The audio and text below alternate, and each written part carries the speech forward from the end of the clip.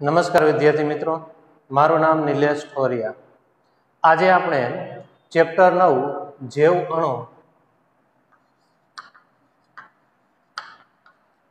આના વિશે આપણે અભ્યાસ કરશું.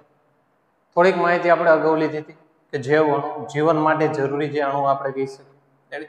તો આવા જે અણુ સૂક્ષ્મ અણુ આપણે કહીએ કે જે જીવન માટે જરૂરી, તો એવા જે અણુની આપણે જે સંરચનાની વાત કરી તો એમાં જે મુખ્ય ભાગ લઈ તો જે કાર્બન હાઇડ્રોજન, ઓક્સિજન, નાઇટ્રોજન, આમ જે તો કાર્બન, હાઇડ્રોજન, ઓક્સિજન, જે આપણા શરીર માટેના મુખ્ય ઘટક તરીકે આપણે ઓળખી શકીએ.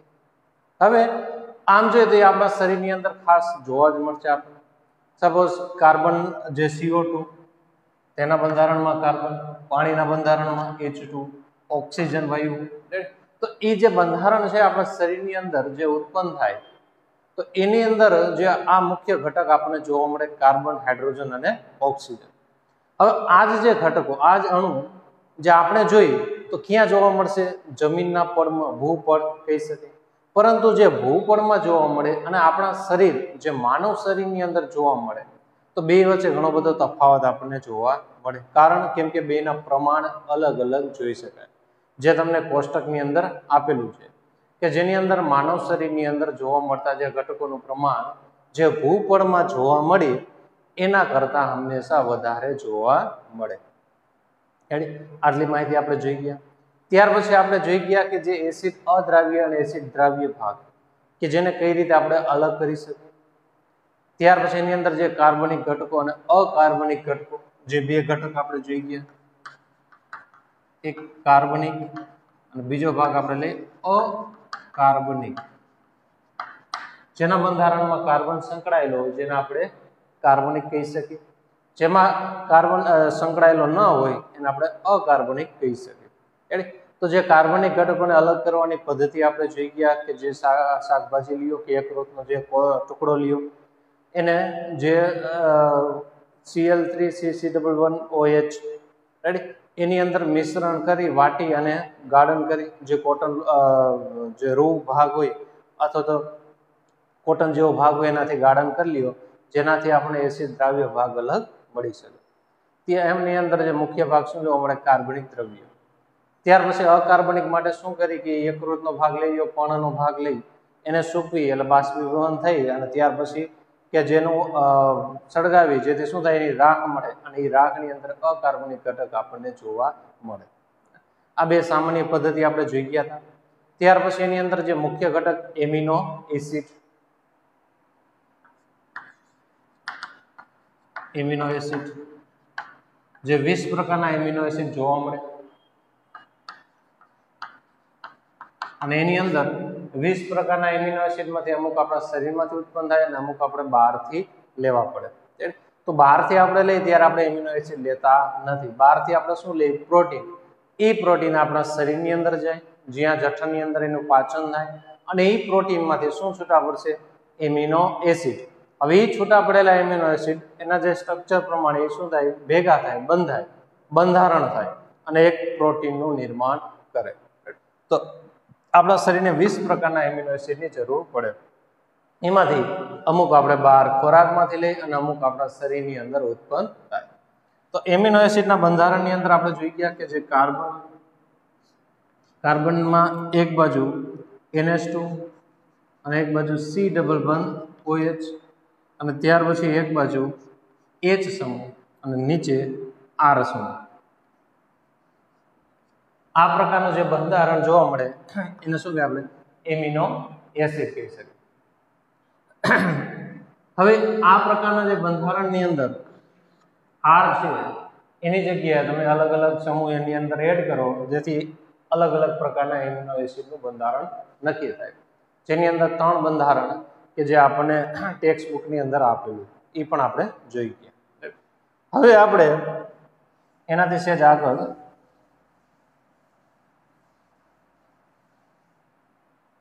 જે લિપિડ વિશે આપણે અભ્યાસ કરવાનો.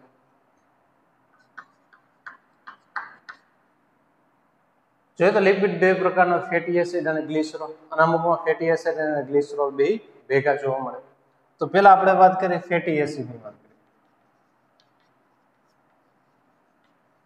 આમ જોઈએ તો લિપિડ જે પાણીમાં કેવું હોય? અદ્રાવ્ય હોય. દ્રાવ્ય થાય નહીં. કે પાણીની અંદર અદ્રાવ્ય એના જે શોષણ માટે એને જે નાના નાના બિંદુ સ્વરૂપે તેલી બિંદુમાં રૂપાંતર કરે, જે પાચન અને અભિશોષણ ચેપ્ટરની અંદર આપણે શીખી ગયા. તો હવે જે ફેટી એસિડ, જે ફેટ, ચરબીનો ભાગ હોઈ શકે તો ફેટી એસિડને આમ જોઈ, તેનું બંધારણ લઈ લઈએ તો એની અંદર એક આર સમૂહ અને કાર્બોક્સિલિક સમૂહ C double one O H carboxylic સમૂહ, આપણે કહી શકીએ. એક કાર્બોક્સિલિક સમૂહ અને એક આર સમૂહ આરની અંદર કાર્બન તમે એડ કરી શકો. રેડી તો એક કાર્બોક્સિલિક સમૂહ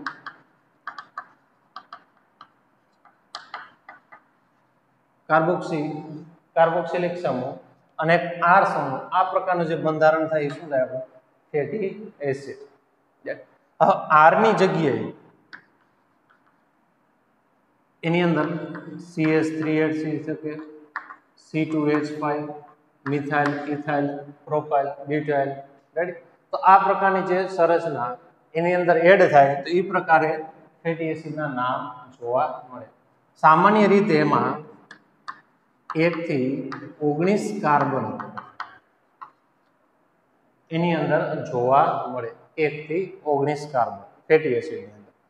એક જે ઉદાહરણ આપણે ટેક્સ્ટ બુકની અંદર આપેલું હોય કે C S three C S two ચૌદ C double one O H જે સોળ કાર્બનનું જે બંધારણ, પામેટિક એસિડ.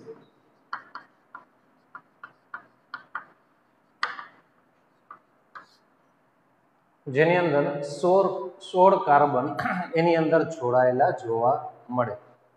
તો એ જે સોળ કાર્બન, આજે આખા આખો જે કાર્બનનો ભાગ, કયા સમૂહમાં જોવા મળે આપણને આર સમૂહમાં. અને કાર્બોક્સિલિક સમૂહ એ અને એમને જોવા મળે.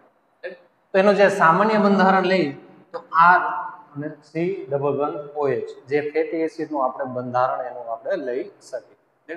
કે જેની અંદર C S three C two H five એ પ્રકારે એકથી ઓગણીસ કાર્બન એની અંદર એડ થાય. એક થાય તો મિથાઇલ, બે થાય તો બ્યુટાઇલ. એ રીતે સોળ કાર્બન એડ થાય તો એનું નામ શું આવ્યું? પામિટિક એસિડ આપણે કહી શકીએ. ક્લિયર ત્યાર પછી કે જે ફેટી એસિડ આમ જોઈએ તો બે પ્રકારના ફેટી એસિડ આપણને સામાન્ય રીતે જોવા મળે. એક સંતૃપ્ત અને બીજા અસંતૃપ્ત. સંતૃપ્ત અને અસંતૃપ્ત. સંતૃપ્ત કોને કહેવાય? કે જે દ્વિબંધ જોવા મળતા નથી.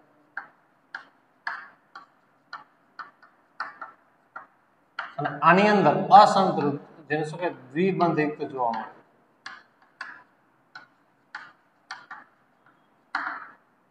સામાન્ય રીતે તમે આ રીતે પણ સમજી શકો, સંતૃપ્ત. કેમ કે એની સંયોજકતા શું થઈ ગઈ? પૂરી થઈ ગઈ. હવે જેની સંયોજકતા પૂરી થઈ ગઈ, તો એને હવે બીજા બંધની કઈ જરૂર નથી. સપોઝ ધારો કે સીએસ થ્રી સીએસ હવે આને કઈ બંધની જરૂર નથી. પરંતુ એની જે સંયોજકતા પૂરી ન થઈ હોય તો ડબલ બંધ એની સાથે જોઈન્ટ થાય. કેમ કે એને ભાગીદારીથી સંયોજકતા બંધ, જે ભાગીદારીથી એને સંપૂર્ણ પૂરો કરવો પડે. તો એ ભાગીદાર ભાગીદારીથી કરે, જેથી એને વધારાના બંધની જરૂર પડે. માટે એને શું કીધું? અસંતૃપ્ત. હજી સંતૃપ્ત થયા નથી, એની સંયોજકતા સંતૃપ્ત નથી થઈ, તો એ ભાગીદારીથી સાથે જોડાય. જેમાં ભાગીદારીથી નથી જોડાતા, એની સંયોજકતા સંપૂર્ણ થઈ ગઈ, માટે એને શબ્દ શું આવ્યો? સંતૃપ્ત હાઇડ્રોકાર્બન, જે દ્વિબંધ યુક્ત જોવા ન મળે અને અસંતૃપ્ત જે દ્વિબંધ યુક્ત આપણને જોઈ શકાય. આ સામાન્ય માહિતી કેની થઈ ગઈ? Fatty acid. આટલા પોઈન્ટ યાદ રાખવાના. આપણે વધારે એક્સ્ટ્રા કાંઈ પોઈન્ટ લેતા નથી આમાં. Fatty acid R C double બંધ હોય કાર્બોક્સિલિક સમૂહ આર સાથે જોડાય, જે સ્ટ્રક્ચર બને કે ફેટી એસિડનું. પણ આર એટલે શું? એની સાથે શું જોડાય? આરની જગ્યાએ કાર્બોનેટ થઈ શકે, એક કાર્બન તો મિથાઇલ, બે કાર્બનિક તો ઇથાઇલ. તો આ રીતે સોળ કાર્બોનિક જોડાય તો એક સ્ટ્રક્ચર બને જેને શું પામિટિક એસિડ. ક્યાં સુધી જોડાય? તો એકથી ઓગણીસ કાર્બન એની સાથે જોડાઈ શકે. ત્યાર પછી ફેટી એસિડના મુખ્ય બે પ્રકાર આપણે જોઈ શકીએ. એક સંતૃપ્ત જે દ્વિબંધથી જોડાયેલું જોવા મળતું નથી અને અસંતૃપ્ત, જેની સંયોજકતા પૂરી નથી થઈ તો એને દ્વિબંધયુક્ત ભાગથી જોડાવવું પડે કે જેને આપણે અસંતૃપ્ત હાઇડ્રોકાર્બન આપણે કહી શકીએ. ક્લિયર હવે એક ભાગ જે લિપિડનો એક ભાગ આપણે શું થઈ ગયા ફેટી એસિડ ત્યાર પછીનો જે બીજો ભાગ, કયો? ગ્લિસરોલ બીજો ભાગ ગ્લિસરોલ જેનું સ્ટ્રક્ચર પણ આપણને જે સામેના પેજ ઉપર તમે જોઈશો તો એની અંદર આપેલું છે કે જે ટ્રાયગ્લિસરાઇડ તો એની અંદર જે ટ્રાયગ્લિસરાઇડ જે આપેલું છે, એમાં C H three C double one OH C H C double one OH C H two C double one OH sorry two આવી જાય ખાસ ધ્યાન રાખવાનું, કાર્બનની સંયોજકતા ચાર સંપૂર્ણ થઈ જવી છે. બે આની, ત્રણ અને ચાર. આમાં જોઈ શકો આ એક કાર્બન, બે, ત્રણ અને ચાર. ખાસ કાર્બનની સંયોજકતા કેટલી થવી જોઈએ? ચાર સંયોજકતા એની સંપૂર્ણપણે પૂર્ણ થવી જોઈએ.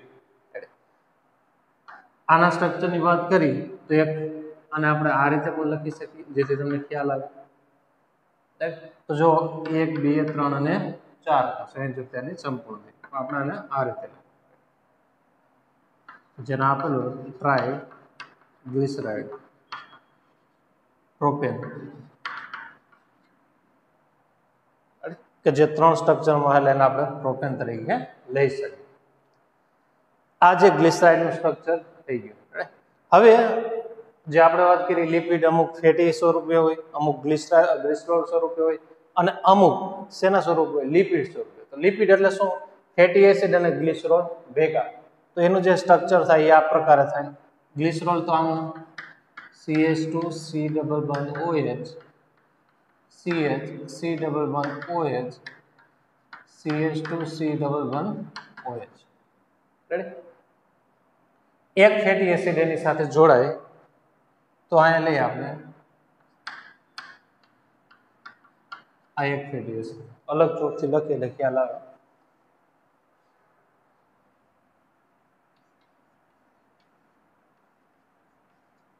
R C double one OH ready બીજું સ્ટ્રક્ચર લઈએ આપણે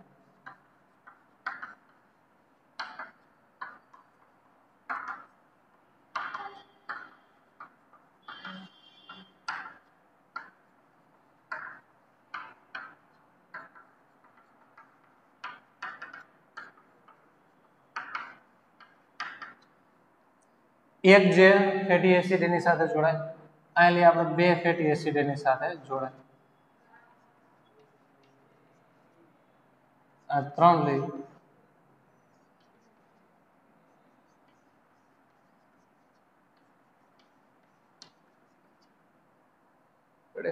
જે એક જોડાય તો મોનોગ્લિસરાઇડ ડાય અને ટ્રાયગ્લિસરાઇડ આપણે એના જે ત્રણ ભાગ એમાં આરામથી આપણે જોઈ શકીએ.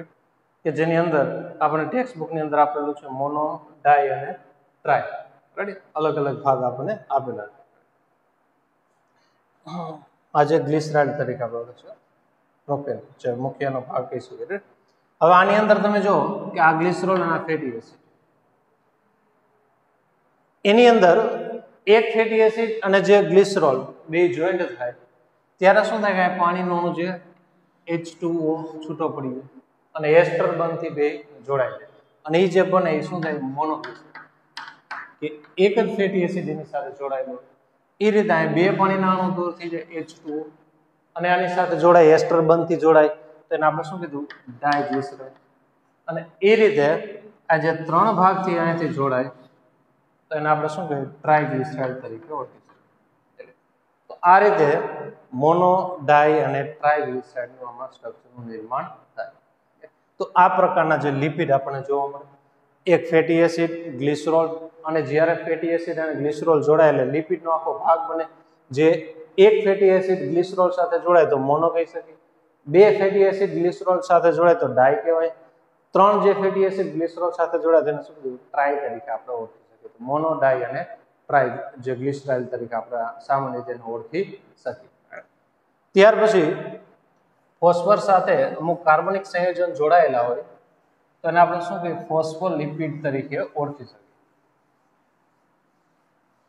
જે ફોસ્ફરસનો ભાગ જે લિપિડ સાથે જોડાયેલો હોય ફોસ્ફરીકૃત કાર્બનિક ભાગ જે જોડાયેલો હોય, જેને શબ્દ વાપરીએ આપણે ફોસ્ફોલિપિડ. અને આ જે ફોસ્ફોલિપિડનો જે ખાસ ઉપયોગ, જે કેના બંધારણમાં જોવા મળે? આપણા કોષ રસ પટલ. જે કોષ પટલ આપણે જોઈએ કે લિપિડ અને પ્રોટીનનું બનેલું. તો લિપિડ અને પ્રોટીનના બંધારણની અંદર જે ફોસ્ફોલિપિડ એની સાથે સંકળાયેલો ભાગ આપણે કહી શકીએ. જેનું એક ઉદાહરણ આપણને આપેલું હોય દ્રષ્ટાંત તરીકે લેસિથિન લેસેથિન તો લેસેથિન ખાસ ક્યાં જોવા મળે? કે જે વાયુ કોષ્ટની દિવાલ હોય. હવે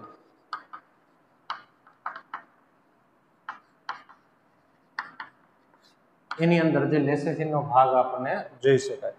જે આખા જે વાયુ કોષ્ટની આપણે દિવાલ લઈએ અંદરના જે ભાગની અંદર વાયુકોષની જે દિવાલ, એની અંદર આજે અંદરના ભાગની અંદર લેસેથિનનું જે સંપૂર્ણ આવરણ એની અંદર આપણને જોવા મળે. કેમ કે આની અંદર નાના કોષ, મોટા કોષ, નાના કોષ, મોટા કોષ, આ રીતના બે કોષો જોવા મળે. તો ખાસ સમજી લ્યો કે જે વાયુકોષની દિવાલની આજુબાજુ આપણને લેસેથિનનું આવરણ સામાન્ય રીતે આપણે એમાં જોઈ શકીએ. રાઈટ આ તો આપણે લિપિડનું બંધારણ.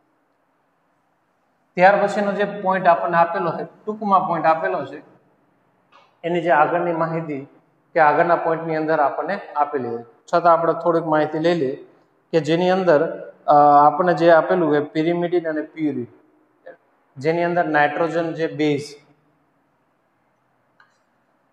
જે બેઝ શર્કરા અને ફોસ્ફેટ આ ત્રણ ભાગ એની અંદર જોવા મળે. બેઝ શર્કરા અને ફોસ્ફેટ બેઝની વાત કરી તો એની અંદર એ ટી જી સી અને U adenine thymine guanine cytosine અને યુરેસિન આ પાંચ પ્રકારના બેઝ નાઇટ્રોજન બેઝ જોવા મળે. જેની અંદર એડેનિન થાઇમિન ગ્વાનિન સાઇટોસિન અને યુરેસિન લખી નાખે આપણે. એડેનિન એટલે એ ટી એટલે કે થાઇમિન જી એટલે ગ્વાનિન અને સી એટલે સાઇટોસિન અને યુ એટલે યુરેસિન આ પાંચ પ્રકારના નાઇટ્રોજન બેઝ જોવા મળે. ત્યાર પછી શર્કરા. જે કેટલા કાર્બનની હોય? પાંચ કાર્બનની શર્કરા આપણને જોઈ શકીએ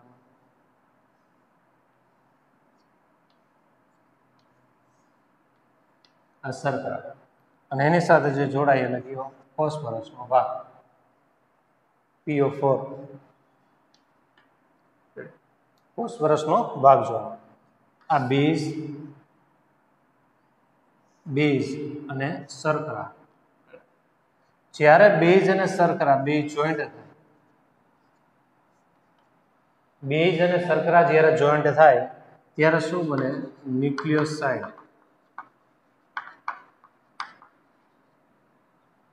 બેઝ શર્કરા જોડાયેલા ન્યુક્લિયોસાઇડ જ્યારે બેઝ શર્કરા અને એની સાથે ફોસ્ફેટ, મતલબ ન્યુક્લિયોસાઇડ સાથે શું એડ થઈ જાય આપણો? ફોસ્ફરસનો ભાગ થાય. તો શું બને? ન્યુક્લિયોટાઇડ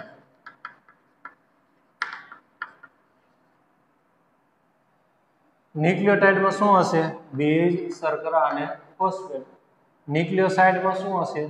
તો બેઝ અને શર્કરા એકથી વધારે જે ન્યુક્લિયોટાઇડ જોડાય, સંયોજનથી, અને જે સંરચના બને જેને આપણે શું કહીએ, ન્યુક્લિક એસિડ. અને એ જે ન્યુક્લિક એસિડ બેમાં જોવા મળે, કેમાં? ડીએનએ અને આરએનએ. ડીએનએ ને આપણે કહીએ deoxy રિબો nucleic acid. Ribonucleic acid. તો ન્યુક્લિક એસિડ ક્યારે બનશે?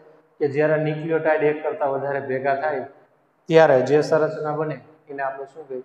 ન્યુક્લિક એસિડ તરીકે ઓળખી શકીએ સામાન્ય રીતે જોઈએ આપણે, એક બેઝ લઈ લઈએ.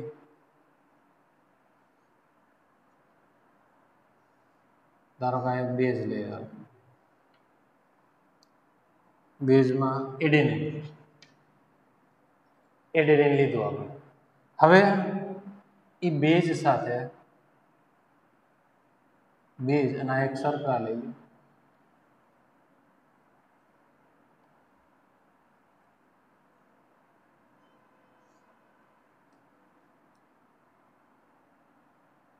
આની સાથે જોઈન્ટ થઈ આપણે આ સરખા અને આ બેઝ આ જે સ્ટ્રક્ચર બન્યું, એને શું કહેવાય? Nucleoside nucleoside ready આ જે સ્ટ્રક્ચર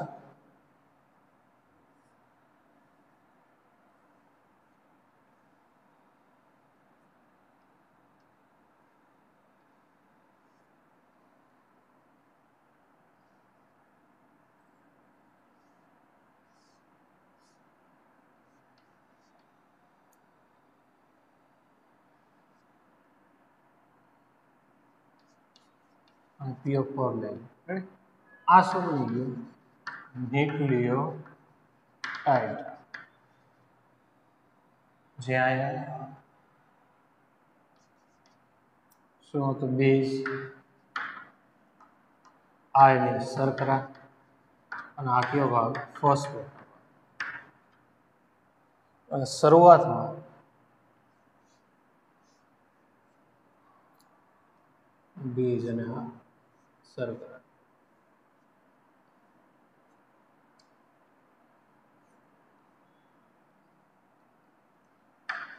આની શર્કરા ના બેઝ. આ રીતે એનું નિર્માણ થાય. બેઝ અને શર્કરા અલગ અલગ હોય. જ્યારે બેઝ અને શર્કરા જોઈન્ટ થાય, તો શું બની જાય? ન્યુક્લિયોસાઇડ હવે બેઝ અને શર્કરા એમનમ અને એની સાથે ત્રીજો ભાગ ફોસ્ફરસનો ફોસ્ફેટ ભાગ જોઈન્ટ થાય તો શું બની જાય ન્યુક્લિયોટાઇડ હવે એક ન્યુક્લિયોટાઇડ સાથે બધી બીજી ત્રીજી ચોથી પાંચમી જોઈન્ટ થાય એટલે શું બની જાય? Nucleic acid nucleic acid. જે કેના બંધારણ કા? ડીએનએ કા? આરએનએ ના. ગમેલા એકના બંધારણની અંદર આપણને deoxyribonucleic acid રિબો nucleic acid આપણને જોવા મળે. એટલે આ સામાન્ય માહિતી આપણે લઈ શકીએ. તો બેઝ અને શર્કરા જોઈન્ટ થાય તો ન્યુક્લિયોસાઇડ બેઝ શર્કરા ફોસ્ફેટ, બધું જોઈન્ટ થાય એટલે ન્યુક્લિયોટાઇડ અથવા તો આમ કહી શકો ન્યુક્લિયોસાઇડ સાથે શું જોઈન્ટ થાય? ફોસ્ફેટ ભાગ. તો શું બની જાય? ન્યુક્લિયોટાઇડ આપણે કહીશું જેની અંદર તમને આમાં નામ આપેલા છે કે જે ન્યુક્લિયોટાઇડ હોય તો એડેનિન ગ્વાન થાઇમિન ગ્વાનિન, સાઇટોસિન યુરેસિન એ કયા નામે ઓળખાય? અને ન્યુક્લિયોટાઇડ હોય તો એ કયા નામે ઓળખાય? તો એ બધા નામ તમને ટેક્સ્ટ બુકની અંદર આપેલા છે. ખાસ એ તમે જોઈ લેજો. ત્યાર પછી ડીએનએ આરએનએ જે ખાસ શેના માટે જવાબદાર હોય, આનુવંશિક દ્રવ્ય. આપણને આ પણ ખ્યાલ આનુવંશિક જે વારસાગત પેઢી દર પેઢી જે લક્ષણ જોવા મળે, તે લક્ષણના જે વારસાગત ભાગની અંદર કે ડીએનએ આરએનએ એની અંદર જોવા મળે. અને એની અંદર ડીએનએ ની અંદર પણ કે જે આવનારી પેઢીની અંદર જે વૈવિધ્યતા, ભિન્નતા, અલગ પણ, જુદા જુદાપણું આ જે ભિન્નતા ઉત્પન્ન થવા માટે જે મુખ્ય ભાગ આપણે જોઈ ગયા કે જેની અંદર વ્યક્તિકરણ અને પુનઃસંયોજન.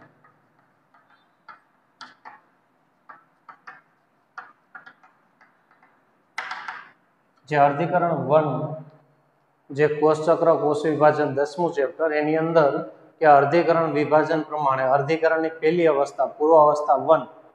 એ પૂર્વ અવસ્થાની જે પાંચ અવસ્થામાંથી ત્રીજી અવસ્થા પેકેટિંગની અવસ્થાની અંદર જે વ્યતિકરણ અને પુનઃસંયોજનની ઘટના થાય, જેના આધારે રંગસૂત્ર જે જનીનની શું થાય અદલા બદલી થાય. અને એ અદલા બદલીના આધારે કે જે લક્ષણ, જે આ માતા અને પિતામાં હોય, એના કરતાં અલગ લક્ષણ આવનારી પેઢીની અંદર જોવા મળે. મતલબ એમાં શું થાય? ભિન્નતા થાય. અને એ જ ભિન્નતા જે આનુવંશિક દ્રવ્યો માટે જવાબદાર આપણે કહી શકીએ. તો આની અંદર આપણે જોઈ ગયા બે પોઈન્ટ એક લિપિડ અને એક આ ન્યુક્લિક એસિડ, જેની અંદર ન્યુક્લિક એસિડની અંદર બે ભાગ જોઈ ગયા ન્યુક્લિયોટાઇડ અને ન્યુક્લિયોસાઇડ હવેના પછીના લેક્ચરની અંદર આપણે પ્રોટીન વિશે અભ્યાસ કરશું.